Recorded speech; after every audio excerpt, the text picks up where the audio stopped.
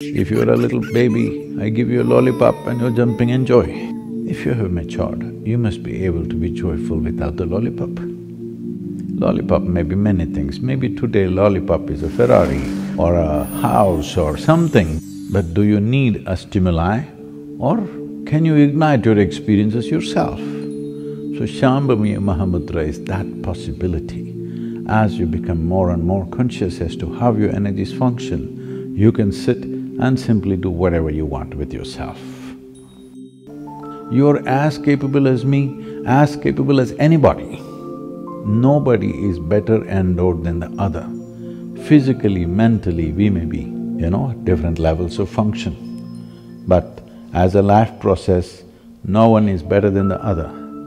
So what Shambhavi means is to make life process the front end of your life, not your body, not your mind, not your emotions. Life process is the front end, others should follow.